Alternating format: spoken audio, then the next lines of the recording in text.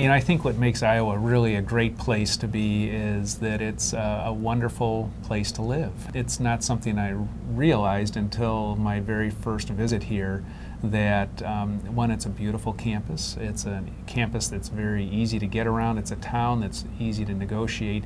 And there are all the things that I enjoyed coming from a larger city that were here. I think many people are concerned that the only thing you're going to see here are a group of Iowa farmers and that we're, we live in the middle of a cornfield.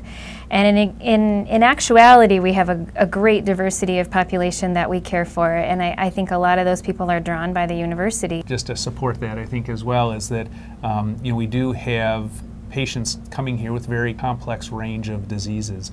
Um, and as a result, you get an opportunity to be exposed to the, to the most cutting edge technologies in both diagnosis and treatment.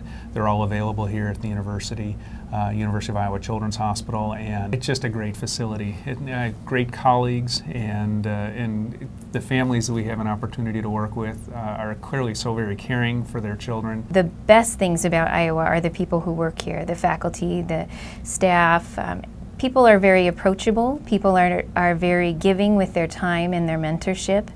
Um, I've never had a faculty tell me, no, I can't possibly take that resident into my research lab or I'm not willing to work with that resident. I really enjoy watching the training of the residents, but it's going back and doing patient care every week that makes me really remember what it is I'm here to do.